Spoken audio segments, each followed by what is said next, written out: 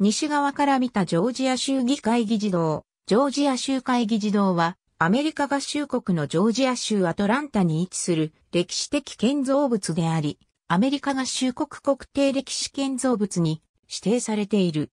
ジョージア州政府の活動拠点でもあり、2階には、ジョージア州の知事、副知事、及び州務長官のオフィスがある。3階は、州議会の会議場となっており、4階には、傍聴席とミュージアムが設置されている。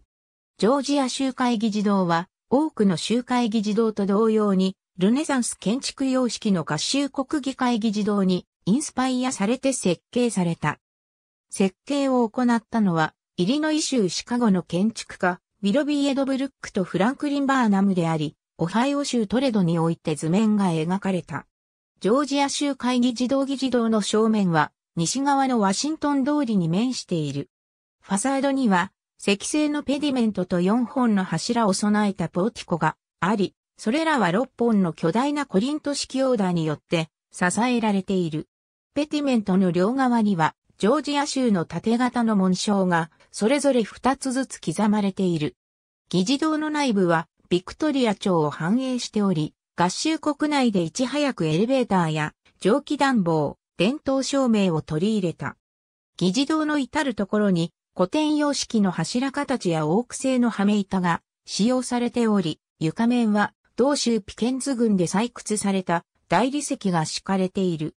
議事堂の中央には円形の大広間があり、両側に配された大階段は3階のアトリウムへと続いている。大階段の上部には最高窓があり、そこから建物中心部へ光を送っている。議事堂は政府の変化に合わせて頻繁に改築が行われた。議事堂の上部にあるドームは建設当初はテラコッタを鈴でメッキしたものであったが、1957年に改修した際、同州ランプキン郡ダロネガで100年以上前に採取された金が州に寄贈され、その金から作られた金箔が貼られた。議事堂内のミュージアムは1889年に設置され、以来、ジョージア州の自然や文化的歴史に関する資料を広く収集している。アメリカ先住民族の工芸品、動物、岩石や鉱物、化石などである。歴代知事の肖像や著名な州民の彫像、南北戦争時代の旗などは、議事堂の至るところに飾られている。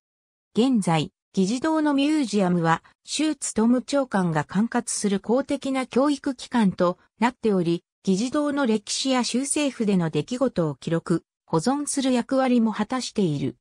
ジョージア州ミレジビルのイーストグリーン通りには、ジョージア州議会の2代目の議事堂があり、この建物は1867年まで集会議事堂として使用されていた。旧議事堂の1階は博物館として開放されている。ありがとうございます。